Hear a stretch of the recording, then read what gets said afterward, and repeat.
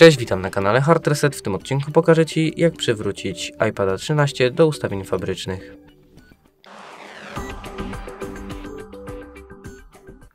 Na początku przechodzimy do ustawień, a następnie do zakładki ogólne.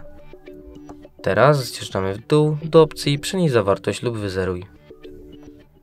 Następnie wybieramy opcję Wymasz zawartość i ustawienia.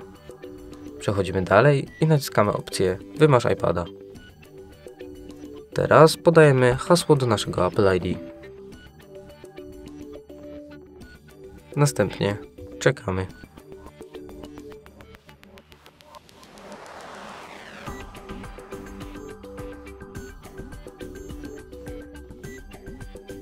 Jeżeli wideo było dla Ciebie pomocne, zostaw łapkę w górę oraz subskrypcję.